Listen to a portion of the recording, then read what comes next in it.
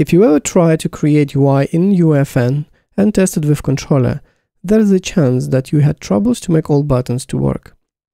In this video, I will show you my findings and one workaround which you can easily use in your project. So let's get started.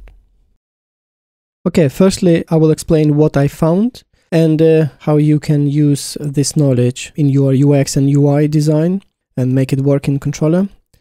So this is a representation of the buttons on the screen.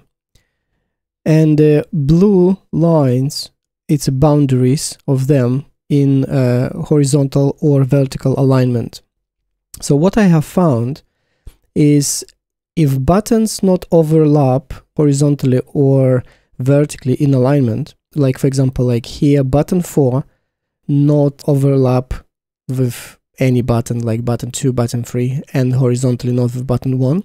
So then it won't work on controller. So with controller, you won't be able to jump between, let's say, button 1 and button 4. And same button 1, as you can see, not vertically uh, aligned with button 2. So you wouldn't be able to jump. Uh, so probably if you will start uh, with button 1 highlighted, you will be able only just click on button 1 with controller and not switch into other buttons. So it's all based on alignment. And uh, this is another slide. This is how it would work. So again, when I'm saying alignment, it doesn't need to be like, for example, button 2 and button 3. They perfectly aligned, right, horizontally. That doesn't need to be. For example, button 4, now I put like a little bit lower. And as you can see, lower blue line from the button 4, it uh, goes over the button 1. That's, that's enough to make them work together. So now you would be able to jump between button 1 and button 4. Same in here, in button 1, we see that button 1 slightly overlap this vertical corridor of the button 2. And in, in these designs, like a little bit shifted, we can now jump between button 1 and 2, 3, and 4, right? So between, you wouldn't be able to jump from button 3 into button 4 because again, they're not overlapping, but from button 1, you would be able.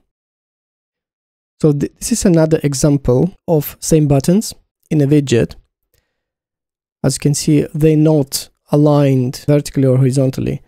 And only this button 1 and button 3, they're kind of like attaching each other vertically.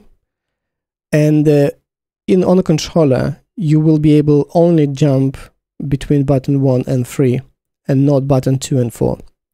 Only changing design of the UI, like position of the buttons, not sometimes a great idea. And maybe you want them to be like this, maybe you have some reasons for that. So then, as we now we can create these custom buttons, you can add more space, like transparent space on the button. And what I mean by that is creating texture like this. It's not great because we have lots of transparency here. Usually when we're creating UI, we want like boundaries to be close to the button or any element you have for the UI. But in this case, we have lots of space. It doesn't need to be so much space. I just created this for demonstration. And what that means is like we can have our original button size of like that, but on the screen it will look like this small button. And because while it's still transparent, it's still button, it will align with another button and it will work on the controller. There is another example of working buttons. This is what I mean. So as you can see, like they position on the screen, it's the same as this, guys, but all these lines represent original button. While on the screen, player will see only this button and all this thing, it will be transparent. So again, I'm not changing design, but because of this, all of these buttons, they vertically overlap and not horizontally. But because of that verticality, uh, I can jump between button 1, 2, 3, 4 and my controller. So it's simple as that. And how to create custom buttons, you can see in my previous video. I will link in description. So I have in this pop-up dialog device, It's nothing special, everything by default. I just only put like center at full for alignment of my widget. And I attached it to this trigger. And I inputted not working buttons widget. And then for this one, everything same is just only working button widget. So now let's try it in a game. So on the left, as I said, we have widget with only two buttons working. As you can see, like I'm trying to go left and I can switch to this button two or four. So only button one and three is working. And uh, in here, we can switch between button one, button two, three, and four. I hope this video is helpful to you.